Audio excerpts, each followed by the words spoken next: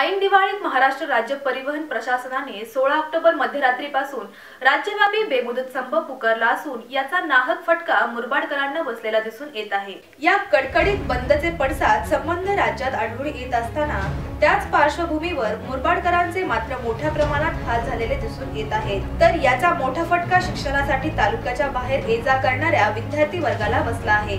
तसेच चाकरमानी मंडळी व दिवाळी सणानिमित्त परगावी निघालेले नागरिक यांचीही सारखीच गैरसोय झाली आहे. दरम्यान कोणताही अनुचित प्रकार घडू नये यासाठी मोठा पोलीस बंदोबस्त तैनात करण्यात आला होता.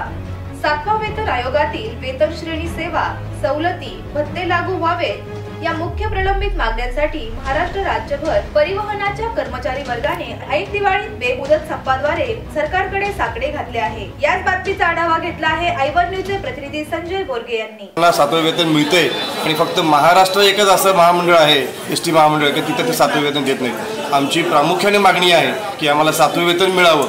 याच्याकरता आम्ही प्रशासनाला वारंवार पत्रव्यवहार केलेला आहे. परंतु त्याची काही दखल न घेतल्यामुळे आम्हाला या संपामध्ये सहभागी व्हावं लागते त्यामुळे आम्ही हा पुकारलेला जो संप आहे तो बेमुदत संप आहे. आमची एकच मागणी आहे आम्हाला सातवं वेतन मिळालेलं पाहिजे.